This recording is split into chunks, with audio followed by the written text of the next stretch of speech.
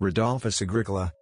Rudolphus Agricola, Latin, Rudolphus Agricola Phrisius, August 28, 1443 or February 17, 1444, October 27, 1485, was a pre-Erasmian humanist of the northern Low Countries, famous for his supple Latin and one of the first north of the Alps to know Greek well.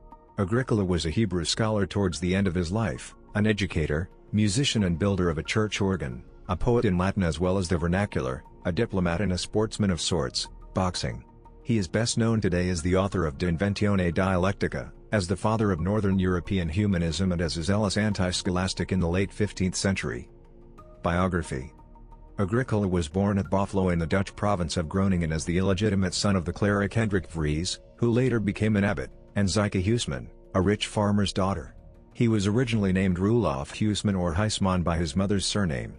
The Latin adjective Phrisius identifies him as a Frisian. Educated first by the celebrated School of St. Martin in Groningen, thanks to his father's help he matriculated at the University of Erfurt, BA in 1458. He went on to Louvain University, MA in 1465, where he won renown for the purity of his Latin and for his skill in disputation. He concentrated his studies on Cicero and Quintilian, and during his university years added French and Greek to his ever-growing list of languages. At the end of his life he would learn Hebrew in order to be able to read the Old Testament, and especially the Psalms, unadulterated by translation. In the 1460s Agricola traveled to Italy, where he associated with humanist masters and statesmen.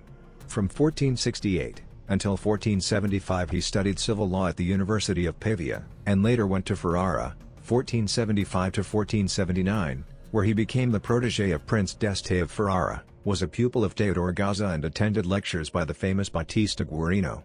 He devoted himself wholly to the study of classical texts.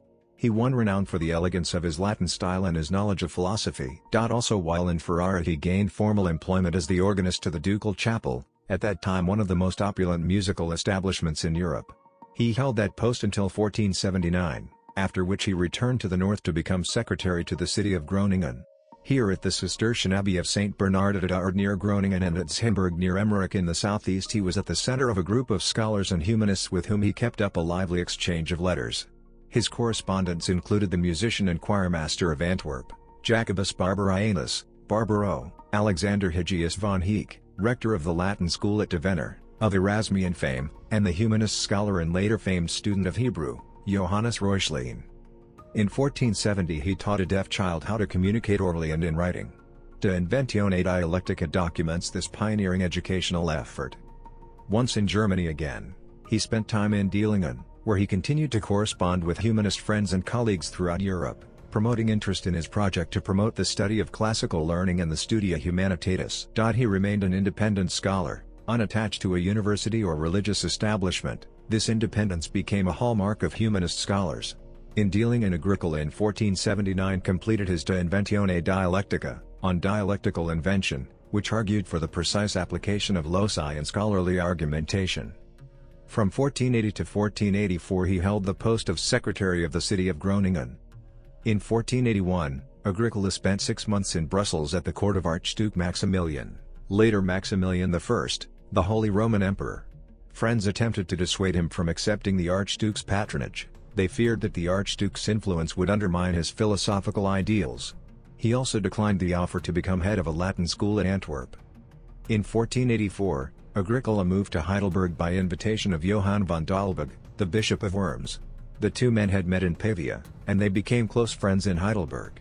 The bishop was a generous benefactor of learning. At this time Agricola began studying Hebrew, and he is said to have published an original translation of the Psalms. In 1485, Dalberg was sent as an ambassador to Pope Innocent VIII in Rome. Agricola accompanied him and was struck gravely ill on their journey. He died shortly after their return to Heidelberg. Ermolao Barbaro composed an epitaph for him. Legacy and Influence De Inventione Dialectica was influential in creating a place for logic and rhetorical studies, and was of significance in the education of early humanists. It also affected the deaf community.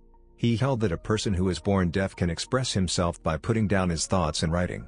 The book was not published until 1515. His statement that deaf people can be taught a language is one of the earliest positive statements about deafness on record, Gannon, 1981. Agricola's de Formando Studio His long letter on a private educational program, was printed as a small booklet and thus influenced pedagogical insights of the early 16th century. Agricola's real legacy was his personal influence over others. Erasmus admired Agricola, eulogizing him in Adagia and calling him the first to bring a breath of better literature from Italy. Erasmus claimed him as a father-slash-teacher figure and may have met him through his own schoolmaster Alexander Hegius, most probably one of Agricola's students, at Hegius's school in Deventer. In addition to Hegius, Agricola's students include Conrad Celtis, in Heidelberg. Erasmus made it his personal mission to ensure that several of Agricola's major works were printed posthumously. Agricola's literary executor was Adolphus Sacco, a physician of Augsburg. By about 1,530 disciples and followers had gathered in the manuscripts left by Agricola, and these were edited by Alardus of Amsterdam. Works